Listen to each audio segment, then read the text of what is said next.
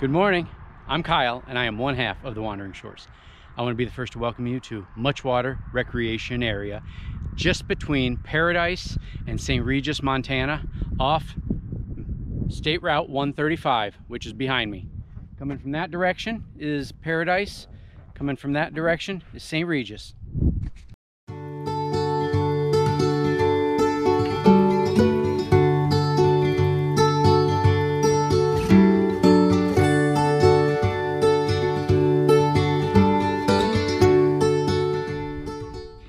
If you're not already a subscriber, I appreciate it if you click the uh, subscribe button below, hit the thumbs up and the notification bell so you're notified every time we do a video.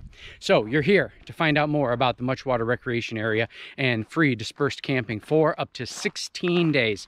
So right back there is 135 where the intro was filmed and basically you turn in you're going to go on north on this little road here I'll show you what that looks like so couple things about this recreation area. Um, number one, there's 16 day stay limit. Number two, it's very big rig friendly, so you're not gonna have any problem. There's probably, I'm guessing, maybe about 20 total camping spots in the, uh, in the loop here and uh, they're pretty easy to identify but uh, yeah it's it's really nice it's not very busy we got here on a Thursday and there was probably four or five spots taken. That was it. So as you're driving in, you're going to see right there where my red truck is parked. That's going to be the split in the road with a little information placard right there telling you that you can't fish during the middle of the day because of the temperatures of the water, etc.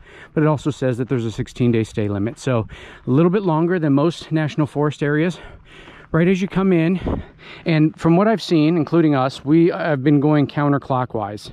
So we're gonna go we're gonna take the uh, route to the right here and then you'll end up coming out here. So it's a loop so you can definitely get in and out very easy. There's a spot over here on the right hand side where you can see that tent. Um, that's going to be for a small rig. I mean you could back your RV in there um, but there's really a lot better spots. And uh, I'll take you around the rest of the loop and show you the other camping spots. We're going to be going around the like I said, counterclockwise. Here off to the right, you can see there's a pickup truck with a camper uh, or a tent on it.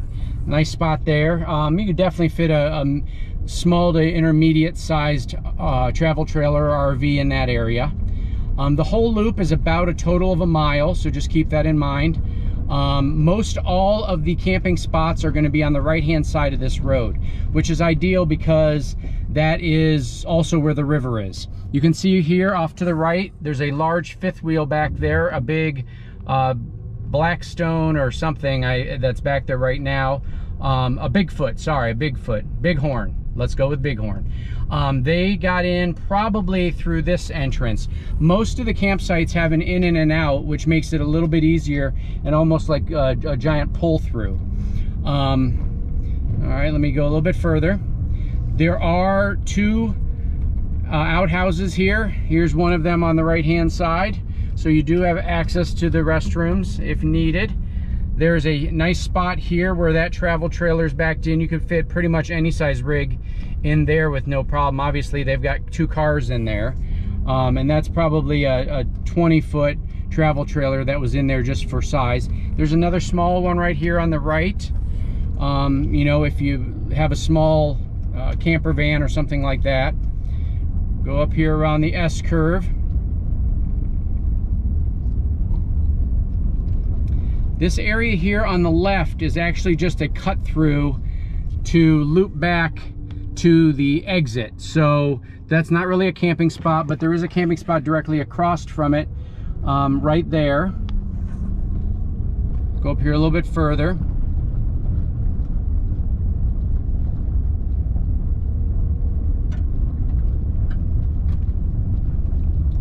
There's a spot right back in here.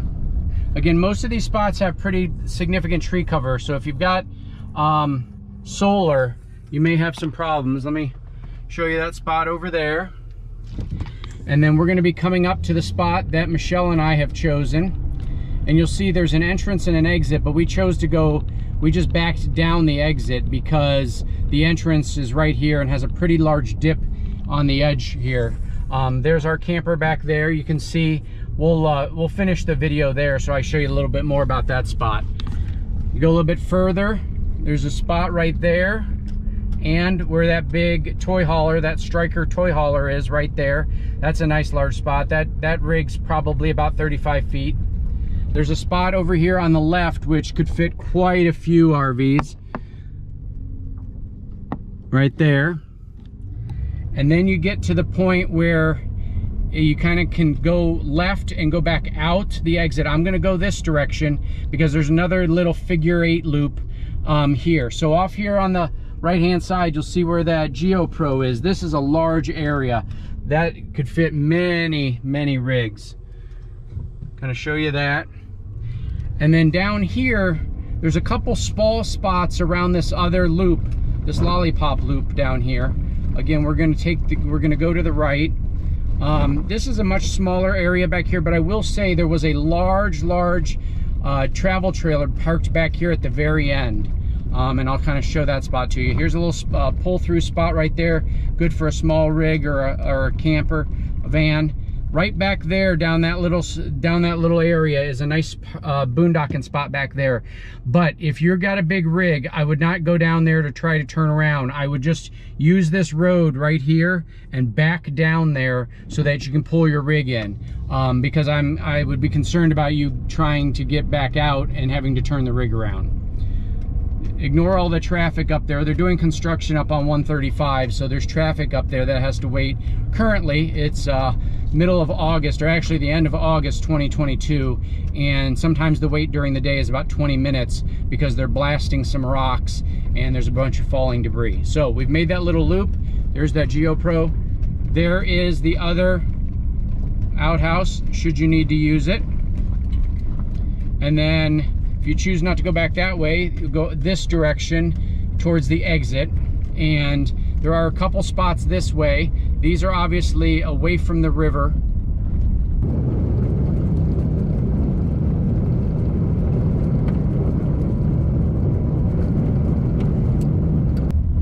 Here's where that cut through would uh, bring you back out to if you had cut through it on the first pass through.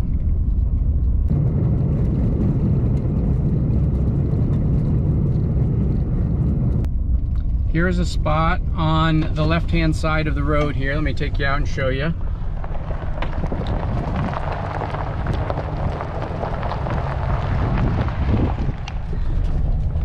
Nice large spot with a lot of uh, tree cover. So if you're trying to stay out of the heat and you don't have air conditioning or something, that might be a good spot. But just following, uh, sorry, just following the, uh, the road back out,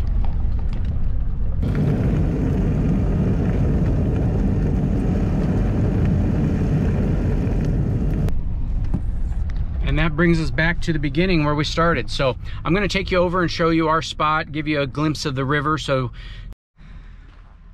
all right, as you can see, we're back at my camper. Um, just wanted to tell you a few things about this camping spot. So first of all, there is less than one bar of Verizon, so you're really not even able to make a call or get any data. So there is really no internet out here. We have both Verizon and T-Mobile and we don't get anything. However, um, at this spot here, we get really good Starlink because we can aim it directly north. Um, but yeah, as you can see, we're right here on the river.